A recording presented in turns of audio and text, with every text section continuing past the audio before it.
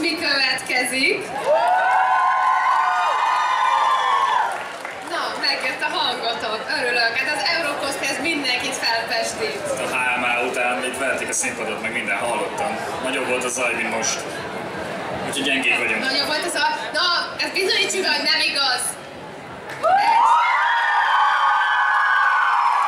Na látod?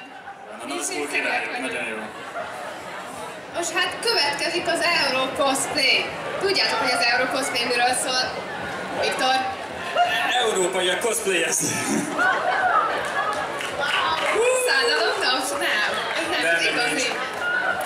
Hát szerintem valószínűleg mindenki tisztában van azzal, hogy hát egy londoni utat lehet nyerni, és odakint is megmérettetni magunkat az európai országok képviselőivel, illetve az ottan győztesként kijutó emberekkel. Hát, és akkor ennek a selejtezője van most itt. Hát egy közel egy ilyen 6 éve, vagy hány éve? 2010 óta van szóval 7 éve. 7 éve rendezzük ezt itt meg, a Mondokonon. Úgyhogy És hát- Ja, ne is általában itt a, itt a legnagyobb és legdurvább cosplayek szoktak előfordulni, úgyhogy Igen, Magyarország legjobbjai. hát akik bevállalták, igen.